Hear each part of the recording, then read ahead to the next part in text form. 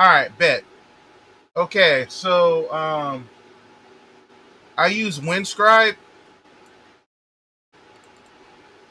and what I did with Windscribe was because the thing with Windscribe is it actually allows um, for Montreal, Canada. So what I did was um, I downloaded Windscribe free, installed it, and you see it only gives you like two gigabytes. Yeah. It's free. I don't I'm not paying for a VPN. I'm not paying for a VPN because I don't need it that much.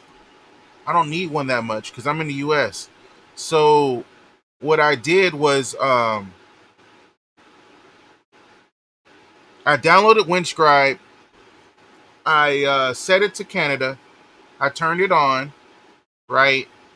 And then when I turned it on, I went to my Netmarble launcher and it allowed me to download solo leveling.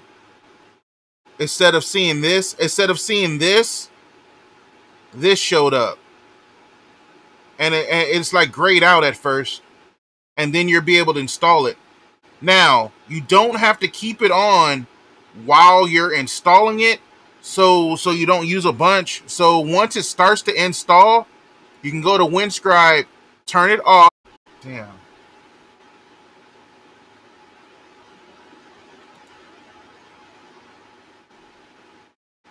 You still there?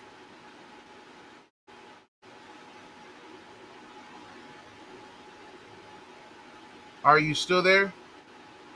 So anyway, uh, then once I was able to install install it, you can leave it off. You don't. In fact, you don't ever have to turn it on again. It's just to connect initially to the servers. Yeah, you don't have to leave Windscribe on. So that's pretty much a short little guide on how to um, yeah, on how to um, install solo leveling early access Arise. So that's pretty much it. Uh,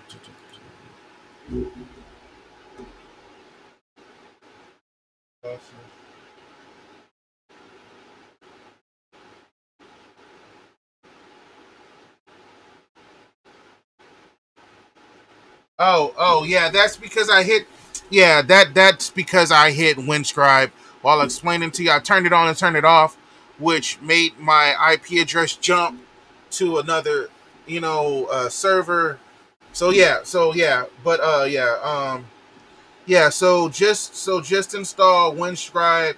Go set it to Montreal because a lot of the free ones don't allow you to do Canada, which is so dumb. Like the Windscribe was like the only one to allow you to do Canada that I found. Like I, I like I said, I tried four different um AP uh four different ones. So that's that's pretty much a little short little guy.